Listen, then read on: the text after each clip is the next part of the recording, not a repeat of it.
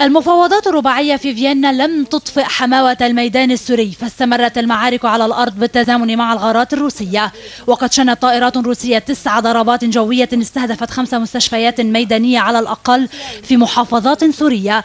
في حين قتل عدد من المدنيين جراء غارات جوية استهدفت فصائل المعارضة في مدينة تلبيسة في ريف حمص الشمالي من دون أن يعرف ما إذا كان مصدرها طائرات تابعة للنظام أم روسية وفق المرصد السوري.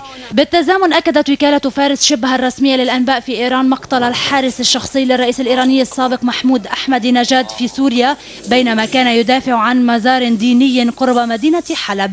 سياسيا أعلن السفير الفرنسي لدى الأمم المتحدة فرانسوا ديلاتر أن بلاده ستطرح قريبا بالاشتراك مع بريطانيا وإسبانيا مشروع قرار أمام مجلس الأمن لإدانة القصف بالبراميل المتفجرة في سوريا مشيرا إلى أن هذا القصف يسرع فرار السوريين من بلدهم.